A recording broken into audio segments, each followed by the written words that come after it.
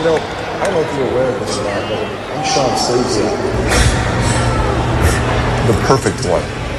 And tonight on Nitro, I'm going to prove to the world that I'm not just a one-dimensional wrestling athlete, that I am a well-rounded, perfect athlete in all sports. And tonight, in the spirit of the NBA playoffs, I'm going to break the world record in free throw shooting.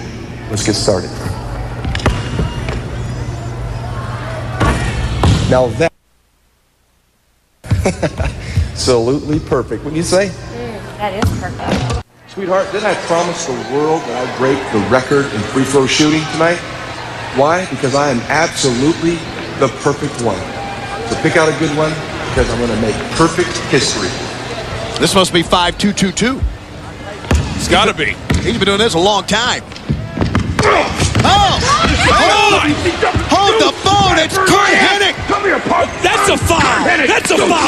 again! Oh, boy! Oh, easily. He, he missed the record!